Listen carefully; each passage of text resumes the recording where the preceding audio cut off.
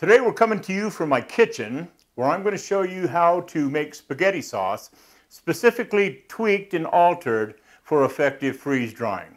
I'm Evan Rowell and this is Critical Thinking.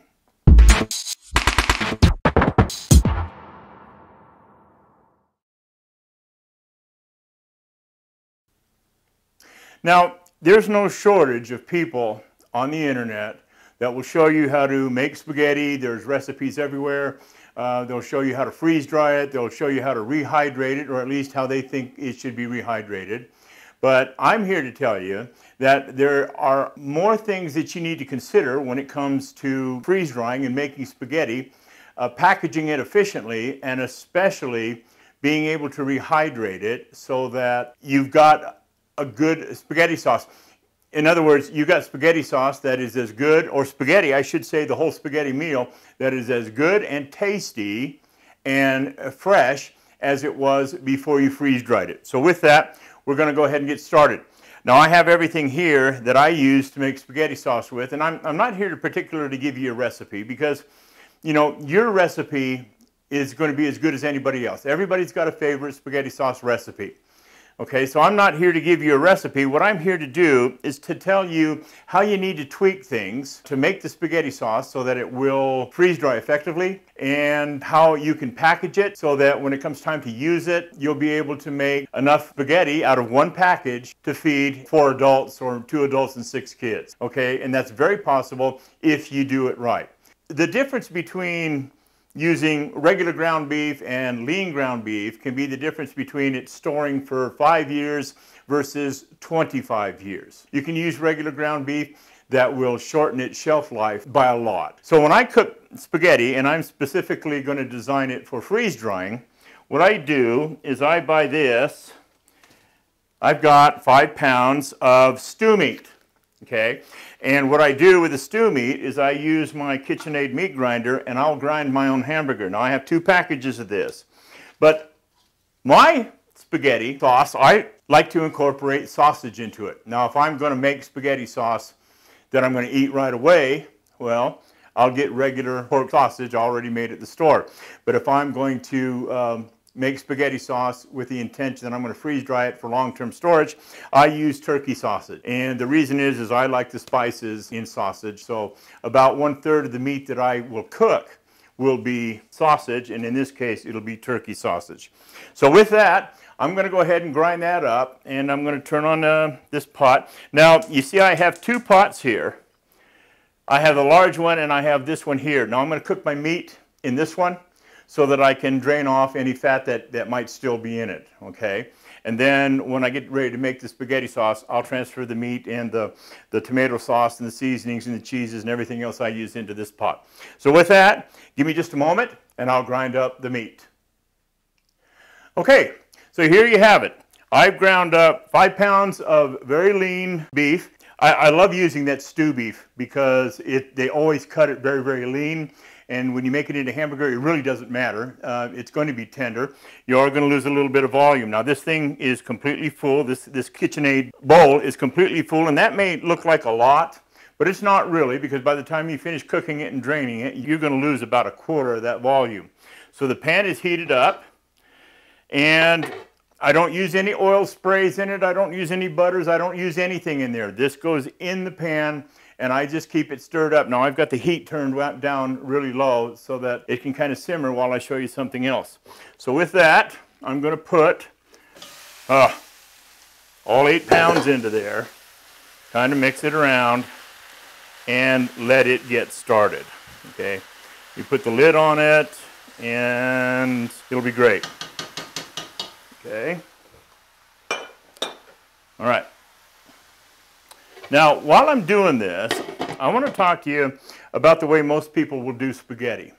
Most people will do spaghetti absolutely wrong, for long-term storage, that is. Now, what they'll do is they'll cook the spaghetti, and then they'll make the spaghetti sauce, and they'll mix it all together, and then they'll put it in their pans. And they might have, you know, four pans if they've got the medium-sized freeze dryer like I do. So I have four pans, and I have, I have an extra set of pans here. Now, I went ahead and cooked um, 24 ounce package of spaghetti, and I have it right here. and this is going to be dinner tonight. But there's no way that my wife and I are going to eat a full 24 ounces of spaghetti. That's a lot of spaghetti. That thing's filled up to about there. Okay, but I want to demonstrate something to you. If you take the spaghetti out and you start to fill the pan with it, I can get maybe two handfuls in there. Because remember, you're going to have spaghetti sauce taking up some volume with this also. All right, so there you have it. I have enough spaghetti left in here easily to fill up two more pans, maybe three. I might be able to fill up all four pans with the spaghetti that came from this one bag of spaghetti noodles. Okay, That's not very efficient. You need to understand that the, the whole idea behind long-term food storage is to pack food as efficiently as possible so that you can get the most out of it when the time comes. So we're going to go ahead and put this back in there. And I'm going to go ahead and start making the spaghetti, the spaghetti sauce that is. Now, I, I like chunky spaghetti sauce. Okay, so I've got here, I've got chopped up bell peppers, red bell peppers, green bell peppers, onions, and mushrooms. That's going to go into the sauce. Okay? And then, because I've got eight pounds of meat, I've got six spaghetti seasoning packets. Okay? I've got plenty of tomato sauce. I've got diced tomatoes. I've got tomato paste. I've got um, melting cheese. This is Velveeta. And I use about a pound of that. And then because the meat uh, because I drain the meat, it is so lean, and because even then I drain off everything I can, it's going to lose some flavor because, like it or not, uh, when you drain off all the fat, and if you don't have any fat in your meat, you don't have any flavor. So what I do is I will add um, bouillon. Okay, this is a liquid bouillon, and I found it to be the best one. I, I don't like the, the really dry one. I put red cooking wine. All right, I'll probably for this, I'll probably use probably most of this bottle.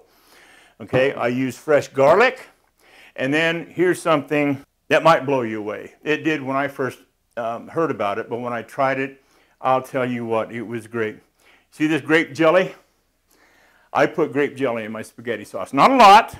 I'll put maybe two heaping tablespoons of grape jelly in this much. I might, well, as a matter of fact, for this much, I might put as many as three or four because this is going to be a lot. But what that does is that takes the edge off the vinegars that put, you put into it, off the sherries and the, and the salts and everything. It just kind of acts as a solidifier. So grape jelly in your spaghetti sauce. So with that, give me a few minutes and I'll be right back.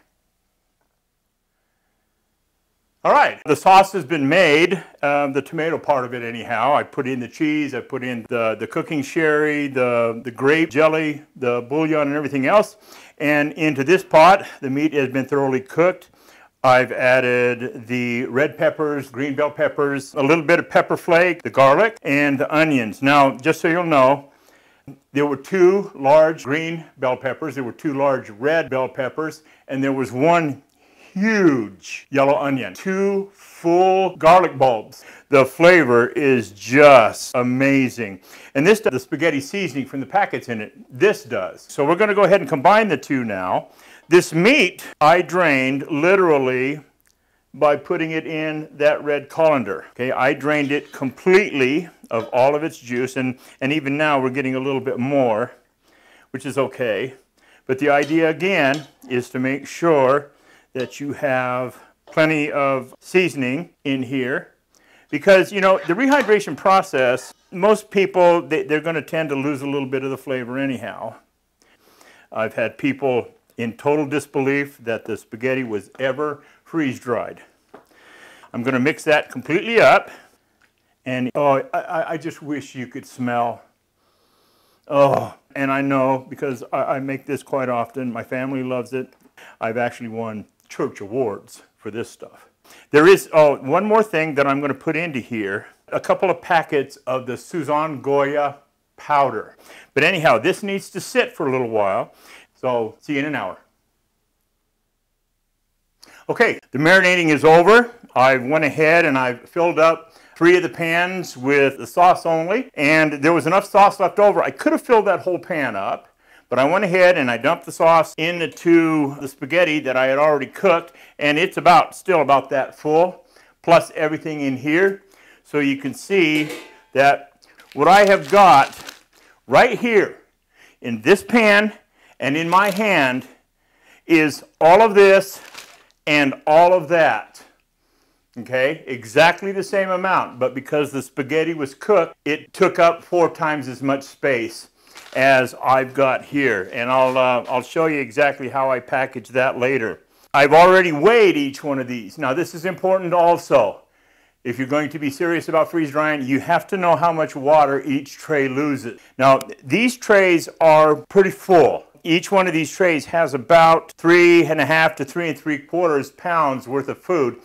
And that's a lot. As a matter of fact, if I had this much weight with a lot more moisture, then you could actually stall the freeze dryer where you'd get so much ice on the inside of the barrel that it would stop the, the sublimation process. I'm sure that I have the maximum amount of food here that should be put into that freeze dryer. These four trays will take anywhere from 55 to 60 hours to complete. So with that, I'm going to go ahead and stick these in the freezer. Now, you'll notice that one of these I have the cooked noodles. And here I am saying, ah, oh, you, you, you really shouldn't, yada, yada. But there is one instance where you want to freeze dry the spaghetti completely cooked. And I got this off of another YouTube uh, YouTuber that was uh, making spaghetti and he cooked his spaghetti and he mixed it and he put it in here. And then he pulled out the neatest little device that he made himself and that was um, a divider. And he made it so that he could physically separate that spaghetti into eight equal sections. And I'm going to do that right now. I'm going to put that in here. Now this, this I, I made this device myself. I went down to Home Depot and I bought one inch by one eighth inch aluminum. And I manufactured these little separators here that fit right down into there. So with that, I'm going to go ahead and put these in the freezer and then tomorrow morning, I will put them in the freeze dryer. And a couple days later, uh, they'll come out. So I'll see you then. All right, so here we are. Uh, we're downstairs in my um, packaging table. And I have successfully freeze dried um, all that spaghetti sauce and this spaghetti here.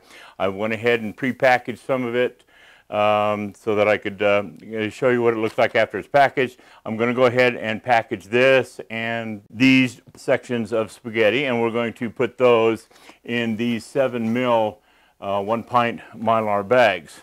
But before I do that, I have to, in the spirit of true confessions, tell you what happened and I actually had to run this through two cycles. And the reason for that was that I got overzealous and I filled these trays too full. And I think I mentioned earlier that I knew that they were full, but because in the past I had uh, successfully done uh, four trays of spaghetti sauce, I didn't think that was going to be a problem. But this time it was a problem. I came down here, I went into and I looked at the freeze dryer and there was a layer of water behind the plexiglass door, which means that the ice on the inside of the barrel was beginning to melt. And then I looked up at the vacuum and it had risen to 1800 millitorrs from around 600 where it should have been. So I knew exactly what had happened. So I shut the whole system down and I opened it up and here are some pictures of what I found. You can see the ice on the left side uh, was in, you know, towards the bottom was coming in contact with the trays. And mind you, these pictures uh, were taken um, after the freeze dryer had sat for several hours fighting with the refrigeration unit and melting the ice. So the ice that you're seeing here in these pictures is probably about a third of the ice that was actually in there to begin with when the ice come in contact with the heated trays. And what happens, it begins to pull some of the heat off of the trays and melt the ice. And then what that does is that raises the humidity inside the freeze dryer. And so your vacuum pump starts pulling excess water in. And what that does is that lowers the efficiency of the vacuum pump. And so your, my vacuum went from around 600 millitorrs all the way up to 1800. And then that just exacerbated the problem of the ice melting and the distribution of the heat because the vacuum was going down. The refrigeration unit couldn't keep up and the whole thing failed. And so what I did was I pulled the trays out, defrosted the whole unit. I actually put a fan on it to uh, accelerate the defrosting process. I pulled the shelving out of it. I pulled all the ice out of it. You can see how much, how thick that ice was on the bottom especially. And it was, it had come up and made contact with the bottom of that tray and it was just causing all kinds of problems. So after I got all the ice out of it and cleaned it all up and everything, I put the trays back into it and it, uh, you know, I started the process up again.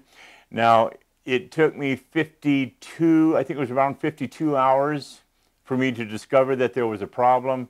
And after I got the, uh, the whole thing put back together and I restarted the cycle in a new cycle, it took another 22 hours to completely dry it.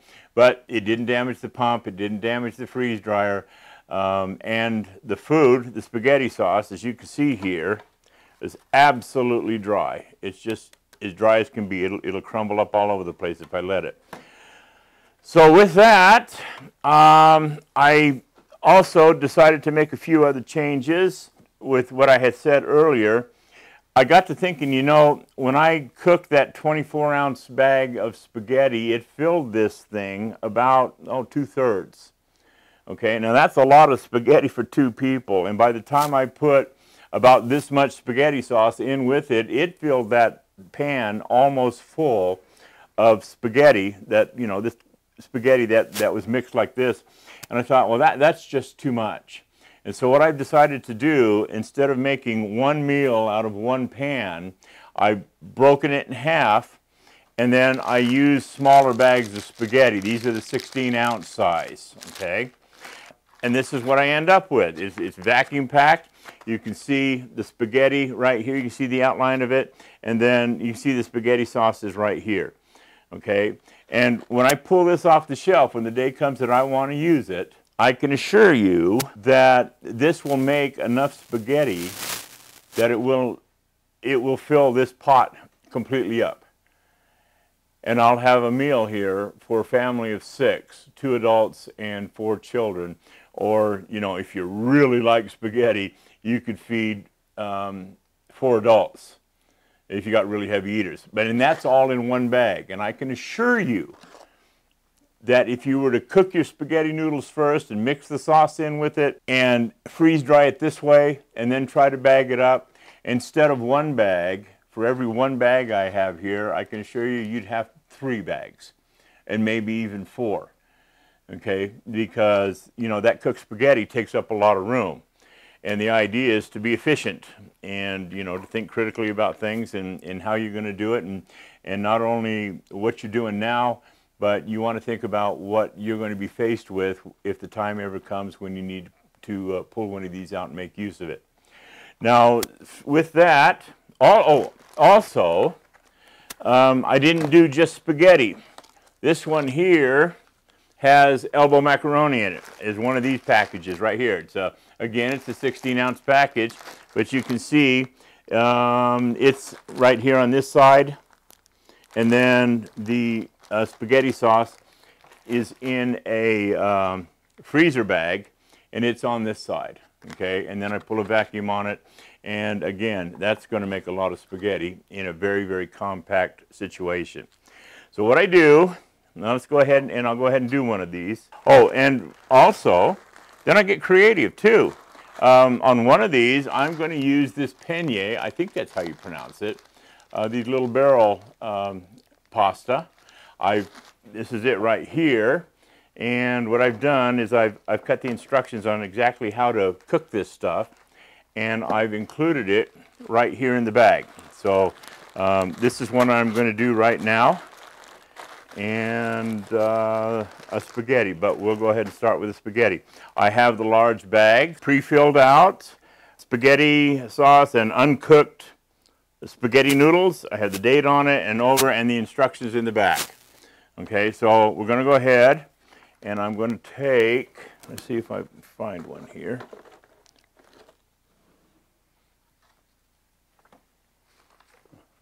Oh, here we go. Okay. I'm going to take a uh, freezer bag and I'm going to start with this one right here. This is a slightly larger one, and that's the one I do. I want to do with the spaghetti. And what I do with these is I take and I break them in half this way, and they do. They break. They break right apart. Okay. And then I'll set those sections in there. And the reason I do that is I like to have the flat side um, out with the, uh, these pieces here, I'll turn upside down so that the flat side is out. So when I vacuum pack them, none of those sharp edges there are going to be trying to poke through the mylar bag. So anyhow, there I have all that in there. I'll go ahead and close it up. Oh, one more thing, I don't want to forget this, is I have to put an oxygen absorber. And I put the oxygen absorber right in with the sauce because that's what has the meat in it. Close this up. Now, when I put this in the bag, I'm going to vacuum pack it. And because I'm going to vacuum pack it, I need to poke some holes in it so that so that this, the air will evacuate out of this bag. So I just go along and I, I poke some holes in it. It's okay because, you know, they're not going to use it. They're not going to rehydrate it in this bag. So what will happen now is that spaghetti sauce will go in the Mylar bag and it'll tuck tightly to one side. And then I take the spaghetti and it's it just doesn't make any sense to cook this spaghetti first. I mean, it's flat, it's compact, it's laid side by side, and all I have to do is go along and, and, and poke a few holes in it so that the air will escape out of it when I go to vacuum pack it. And it sits in that bag right next to the sauce. And for me, that, is, that just makes so much more sense to do it this way. Now, let's go ahead and set this out of the way.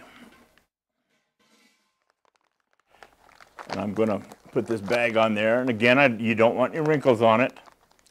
So when I put it on there, you clamp it down, it grabs it at this corner, and then I'm able to pull, and that'll pull any wrinkles out of it, and then I'll seal it.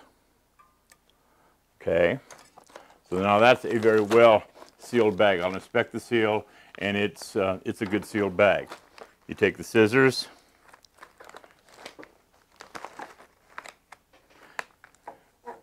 cut just along that corner so I got a little tiny opening right there.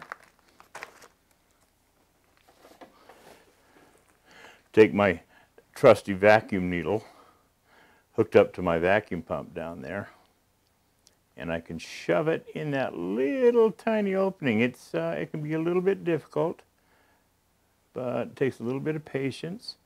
And there you can see it going into there. Now watch this thing when I turn on the vacuum pump.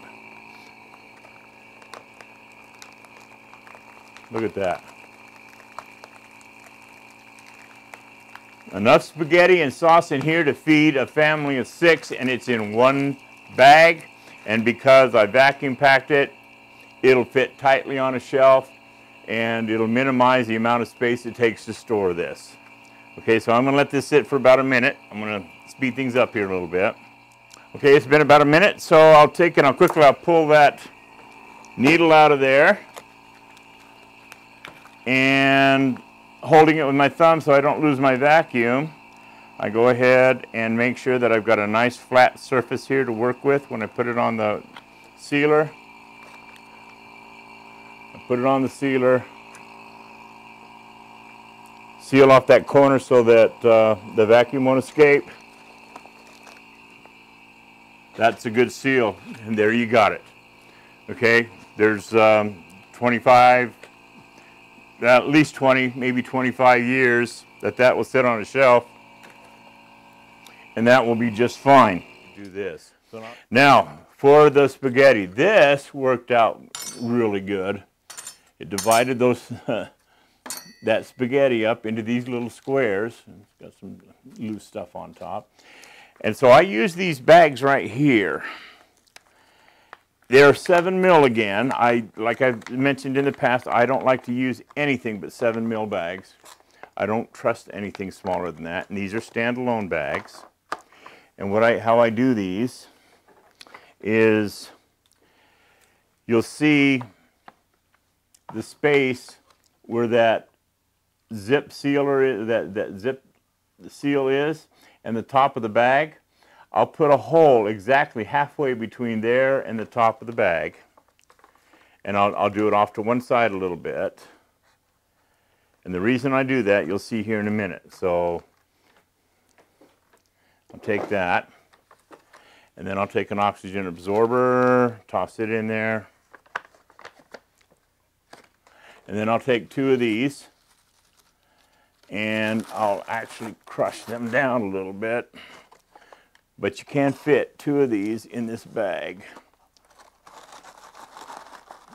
And, you know, bits and pieces and whatnot. But um, two of them, the contents of two of those will go down into that bag. I've already done it twice over there.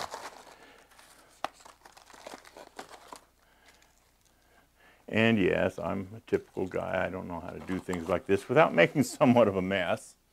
So anyhow.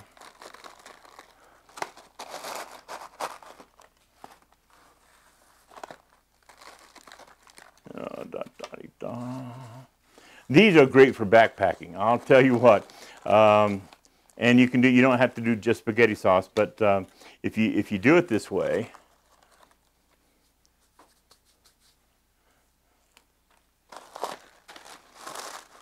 you can uh, you can effectively um, make backpacking supplies. Now I'll I'll seal this down from this side over a little bit, and I'll seal it down from this side over, but I'll leave that middle open a little bit. Okay, now what I'm going to do is I'm going to seal this bag right along this outside edge above that hole.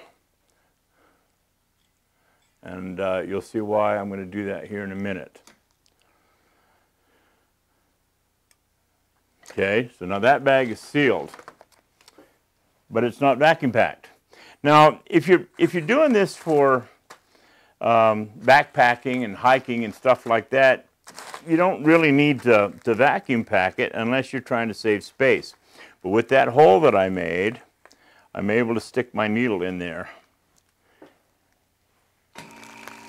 turn this on and you can just see that thing sucking that right down. Leave it on for, you don't need this one for a minute because it's so small, but um, mm, leave it on for 15, 20 seconds. And that, and that is just, that's just as hard as a rock, okay? Now, when you've completely drawn the vacuum, then you can run your finger along there and push that seal closed.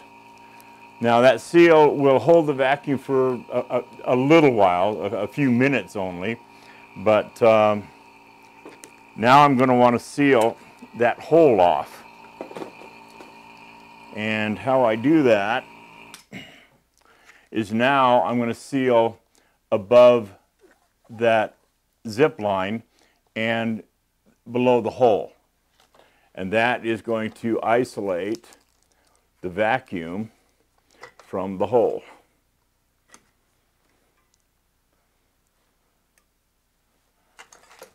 And there you have it.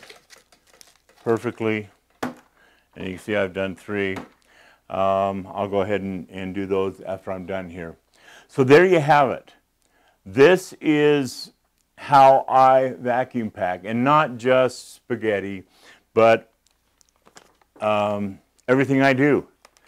The way I figure it, there's no point in vacuum packing something or, or cooking something that's already dry if you're just going to turn right around and freeze dry it. It just doesn't make any sense. So I package things for efficiency so that the day comes, I don't have to run in there if I want spaghetti and I don't have to say, well, I need three packages of spaghetti to fill, you know, to feed everybody that I'm going to uh, feed. Or run in there and say, well, okay, here's a package with the sauce and then run over and, and here's the package with the cooked noodles on it and, and, and, and have to find all kinds of different packages and, and um, different things so that you can cook dinner. I like having everything in one package. So that's how I do spaghetti sauce. Um, I hope you've enjoyed that, watching me do that. I, I hope you've uh, learned something.